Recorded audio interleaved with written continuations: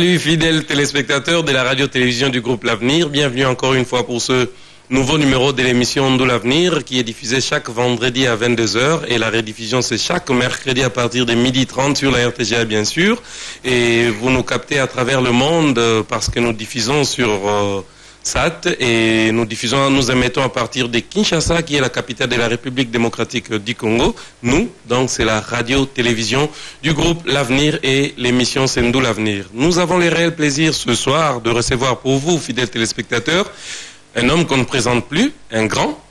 dans ce monde musical et nous l'appelons tous Simaro Ndomanueno et de son vrai nom Lutumba. Et nous l'appelons encore, comme nous le savons, Massia, tant de sobriquets pour la Moutoumoko. Et c'est comme ça que la musique évolue en République démocratique du Congo. Papa Lutumba, Mbote. 33, Mbote. Euh, nous de D'où l'avenir. Avenir. ok, les lotoyés, pour na... bah, point mi-balai. Point ya liboso ezali reconnaissance na l'Etat ndenge bapesaki bino ba brevet e tomonaki ozalaki parmi e tosepelaki ya komona nanu mais tolingaki toyeba yo moko nanu impression na yo ezalaki nini? Bon, euh, kitenga impression na ngai ezalaki esengo esengo ya komona ke mboka L'Etat apesi ngai mbano na papier wana parce que mpalata tozozwa yango te lelo nano tozwi yango te palata nanu te nanu te bapapie bino bomonaka wana ozalaka na sale namonaka yo bapapie oyo tomonaki tomonaki ah. mais baenveloppe tomonaki na kati te eh, nabanzi baenveloppe oyo ezalaki na mwa quelque chose na kati Hein? wana eza lisolo ya kindoki babeta Euh, non omoni mama akabeli yo tata akabeli yo yo okei na balabala kuna ngai ye ngai ye ngai ye mwana mosusu azwaki te Eh, eza mpasi ntango ba- batangi nkombo na yo na evenema motindo wana seki babonsani yo te soki tokotala na registre na musique ya congo Eza na artiste moko ayembaka à l'epoque Zaïre mboka na nga moko ebosani nga lokola nkasa oyo esi ekweya na nzete. Kopesa bino ba brevet eza mwa likanisi.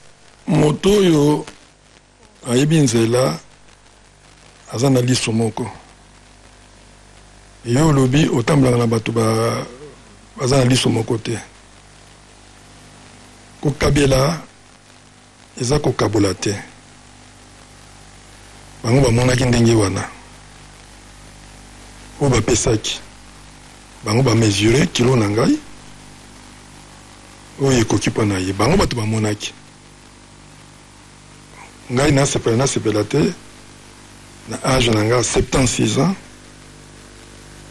nakoyimaka yimaka nini. Nalobaki nini na bato mosusu awa? Ngai natekisaka ngombe mobimba. Nazwa na ngai bomengo te. Bongo poso ya pamba ya ngombe natika na soki nateki na zando nakozwa eloko nini? Donc bango bamonaki ke bapesa ngai oyo wana nasepeli, napesi bango merci. E, ntango opesi merci, likanisi na yo ezalaki nini mpo na bacompagnon bato oyo okutaki na bato oyo mpe baevolue na yo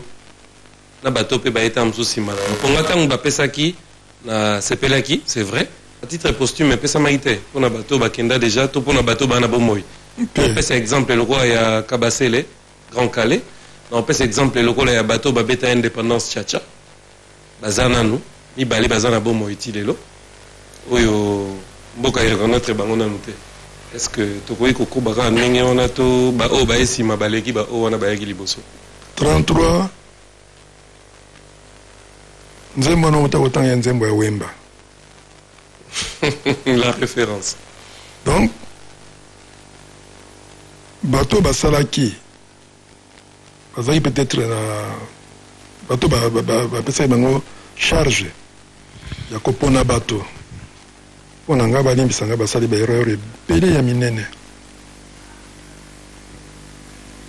parce que moto lokola grand kale esi loyenga esi eyenga pardon franco tozali bazali mwa ebele oyo batiki biso meme à titre postime esoki nakoti na kote na bino awa na rtmc verité ebomaka nango moto te me ekoki kosembola yo okoloba na nga moto lokola kalonji ngoi otangi kombo na ye te na nyonso ye asala mpo na biso batiste bijou bievanga kayumbi beya meme atete prestime lokonko sampa bokoki kobosana moto lokola motindo wana nkombo ya monene ya kilo motindo wana omoni ntango tosala analyse ekopesa bien te parce que ndenge otuni wana nalobaka toujours nakanisi mbala, mbala moko te ya mibale te ya misato soto nasi naloba na yo moto lokola grand kale tokoki vraiment kobosana ye nzembo lokola indépendance chacha oyo ba pays africains nyonso ekomaki na bango lokola hymne chaque mboka baza kozwa indépendance nzembo na bango indépendant chacha mais artiste oyo apesi bendele na bino lokumu bino moko bankolo na ye bosali nini esike kosalela ye mozolo mozolo ekokuta ata eh,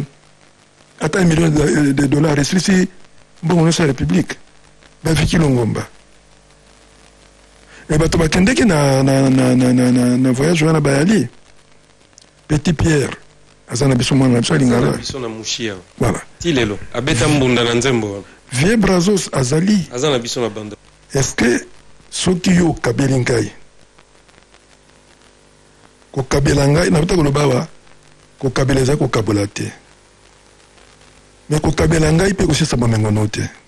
Bandeko bazali na pouvoir, baza na mpivo ya kosala mosala wana. Avant ya kosala ifo kokitisa motema, kotala. Nalobaki na bino mbala mosusu awa, ngai oyo nakoti na camion ya bibembe, me ntango bozobana kobwaka bibembe botalaka banani baza koningana donc ngai nazoningana nano bobwaka ngai na bibembe te ngai simero nazoningana nano parce ngai nazoloba nazosala nzembo moko soko nakozwa bato basalisa ngai na sisa yango nazalaka moto ya motina me ntango ntango mosusu fuku loba Na tango olobi te oke na makambo yango na na na cercueil oke na kati ya be ba nani bayokaki ba kombo ya lina tala na kote rtnc ba ndeko ebele ebele ebele ba bosani bango directeur ya cabinet ya ministre manda cheba azalaka kuna alimbisa ngai na kasi akoki kobosana kombo ya baninga mosusu wana te mpo batravaka na ye na kote na biso ba musicien ebele ebele ezali zuwa te me ezali na loboko mosapi ezali na esika nango nzambe atiaki soki tokendeli na vitese motindo wana eh, ngai kaka ngai ngai ngai ngai ezalaka na nani te na recette oyo bapesaka bato na nani te Yo kaka ngai, ngai, ngai, ngai. Fokanisaka pe baninga. Bakambi na biso ya mboka bayebaka pe biso. Bayeba pe mosala nini tosali na mboka. Culture eza eloko ya monene na kati ya mboka. Ko nani 33 baza intellectuel. Mbunda. Wazekwa alobaka boye mbala mosusu. Abi soko mbonda baleki nango liboso ndako na yo ata otuni te ata otuni te epai ekei me ntango na kobeta oyoka kuna mbote mbonda ebeti miziki yango wana tozosala lokumu ya mboka e, tobandi ye na bana kumisa nano artiste oyo ya yo ya mboka na yo luka mpe akoma ndenge wana ozoka artiste oyo kuna ya bokumisaka topekisi bino bolinga te baartiste mosusu te me ya bino quand même ba lokola ba wera bazo saka meme eh, eh, nini lokumu ya mboka na miziki na biso ba JB ba invitation ya partout partout hein? papa Wemba azobala samedi toza na fete monene samedi papa Wemba bango na mama Rose Amazon Mbala mbala eleki tosalaka emission lobaka ozalaka soki 4e ou 5e musicien congolais. Oyo asala mariage na Kisasa, pete na musapi, boso na maman Kelani Helène. Osalaki avant bato ebele? Ngai naza kulutu te, nalakisi bango nzela, nalobaka boye. Naza tonga bino bozala singa bona na nzela oyo ngai na pana na mea bino nzela ya mabe te. Zala libala eza mala, ya, ya mabe. Libala lokola ya, ya, ya, ya Wemba na Mama Rose. Nakoloba ekomi, ekomi libala ya sur mesure. Nani na kati na bango akoloba ke soko nayebaki. Wemba to Rose. Ba miyebeli deja. Ah. Soko nayebaki wana ezalaka Thomson moko ba to sombela yo kuna. Eza congélé oyebi te. ntango te na ndako edecongele eh, obanda olungisa solo oh, soko nayebaki wemba na mama rose bonne fête félicitation bayebani bizalele rose ayebi wemba wemba ayebi rose baboti bamoni bakoko bana bazo invitation bana na ye bato ya kotikela ngai na esengo nyonso na motema Euh, donc fete wana ezali fete ya bamusicien soko bolingo boyali tomonana wana bino bato ya presse botalaki oh! alo oyo oh, baya koya nsima onano bamemi mabala na bango liboso ya nzambe te bamema yango basala basi na bango lokumu oyo wemba asali na mama amazone libala ya sur mesure papa simaro na emission ya suka totikala kosala na yo awa bandeko mosusu babengaki surtout bandeko ya poto na plainte oyo esalamaki na suka ya emission ntango olobaki mpo na album album osali baclip osali mais place ekenda ebima te lelo toye nsima que maloba wana elekaki deja Suite eza nini to disposition nini bozwaki nsima? Euh, Nzambe asala biloko mingi mibale mibale, butu na moi, mwasi na mobali, chance na malchance. Nabanzi mwana na ngai azoka ngai parce que telodamie ezo eleka na poto nakoki koloba ke abangi ngai te diego mwana na ngai liboso jean claude otumba aza na 54 ans nayebi te diego soki aza na age nini diego asakani na ngai ndenge motema ne esepeli nayebisaka yo ndenge ayaka ndenge napesaki produit na ngai apesa ngai 100 euro te natinda makoso musicien ya bana oke aza na poto akende leki na ngai kisinda fidele mbembo mwana na ngai afo na miniti oyo mpo napesa eyano na motuna na yo nalobi na ngai produit yango ezali na, na magasin na ye na, na matonge basali baaffiche ya pas deux semaines Leki na ngai Nyoka Longo ayaki epai ya baninga na ye awa na Huilerie na, na Keti avandi wana akuti bajeune baloba ah tomoni eh, affiche ya papa Lutumba no banderole ya papa Lutumba ah mais wapi yango josala atali ah, no josala asiliki abengi ngai abivi oza apenga mpe naza na ndako Yo ozo bimisa album nga bi oui. Yaka na nomona nga ya. Na ke na moni ye, abi vie. Na niveau na yo. Vie na biso monima na biso kondimaka biloko ya motindo oyo soki oza na nzala senga na biso baleki na yo antuka 10 dollar kotia essence ekozanga te kebaki na kotala banderole ya mike boye lokola ya bitendi josar azokanga asilikaki makasi eza droit na ye ya kosilika abengi bato na ye non bosala vieux euh, bandelolo problème na ngai eza problème ya ya mokili kaka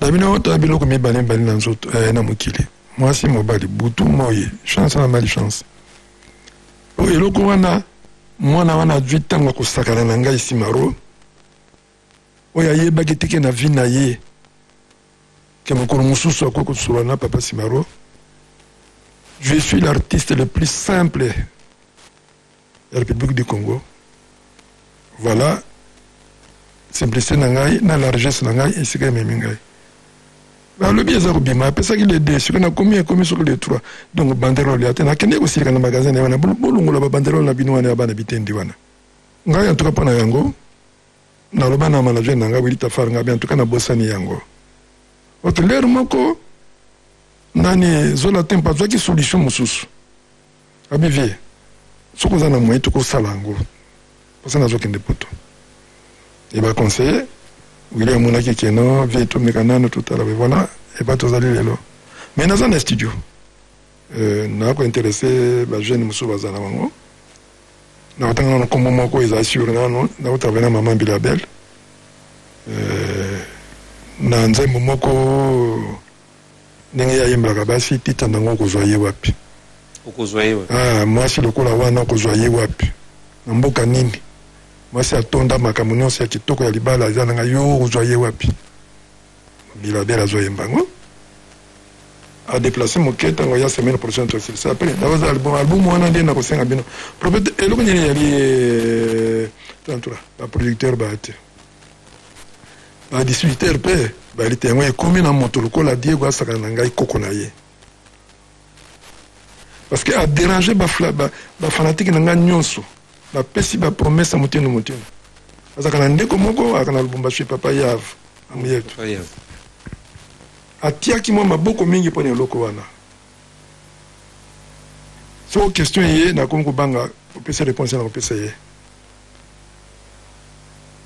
Soki tozalaki na makolo itano, ntango biso tozalaki makolo itano, ngai nako naluka mpe miti ya kolanda ngai nsima rote hmm? me baza te me eh, eloko mpe mosusu na bajeune oyo bazwi mwa meya bon eza claire baza na Baidolo na bango bango bango bakosalisa ngai nasalaka bastudio wana ngai moko naza na mbongo te eh, kitanga kabeli ngai mwa 100 dollar nakosa kabeli ngai mwa 200 nasangisi eh, welika yemba talina nasangisi eh, naki ofuta studio e sikoyo na position oyo bana oke baza ya wapi banoki bazaka ndenge bango bazalaka te bachange elamba album te te na marché album te na marché mpona nani me naza ko- ko- ko- kosenga rapidement ke euh, nini eloko oyo oyo singa na osala ebima noki o wana mpe ya ye die kosi kobima bakutana kaka kuna babotana babeta na mito me kosala sikoyo album oyo ozosala ya si titre olobi deja ozotravaille na mama mbili ya bele tolobaki banzembo nyonso bato ya libanda moto bakoyemba bana oke bakobeta kaka to Bana oke pe eyembi. Te eh, bana oke pe bakozala bango ba subasman te bana oke tosalaki salle d'attente eh, oyo eza télévision na wana oke salle d'attente ezalaki sabote na minute oyo leki na nga gabin avandi na france aza kouka ngai gabin jamais azala producteur na vie na ye tovandi na ye mingi surtout ye na poto bango toyambaka biso un garçon très gentil mwana ya lemba ayaki komona ngai abivie nalingi na produire yo ngai bon problème ya te alobi nakosala promotion na album wana banda osala mosala nano basala promotion wana soki azoyoka ngai mitu avandi na france Eke maloba na ye oyo alakaki ngai. Aza moto ya liboma te, aza nyama te. Tango alobi boye, ngai na croire ye. Ayeli ngai 10.000 dollars. 10.000 dollars wana nasali na yango tala ke album wana otouche point moko album wana ba vedette nyonso peut-être c'est trop dur papa wemba yemba Belabela ayemba, Jean Gobale ayemba, euh, Redi Amisi ayemba, euh, Manda Chante ayemba, euh, guitariste Maika abeta, euh, Aramazani abeta. Album wana eke na poto mpo basala mixage epuis banelba album baleki nango na nzela qualité wana soki oyoki yango album sabote gabin Na minute azo kanga soki aza mokristo ayebi Nzambe banda tango ya botamaki tata na mama balakisa ye kombo ya Christ. Asala eloko wana te. Promotion alakaki ngai. Et dire que na ke na na na nini na na na, na, na Paris dernière mawa na ke komona ye na magasin na ye atekisaka mwa biloko na ye. Na bilobi ngai na okenda assassin. Est-ce que o declarer ba ba, ba Eve nanga assassin ba oui vie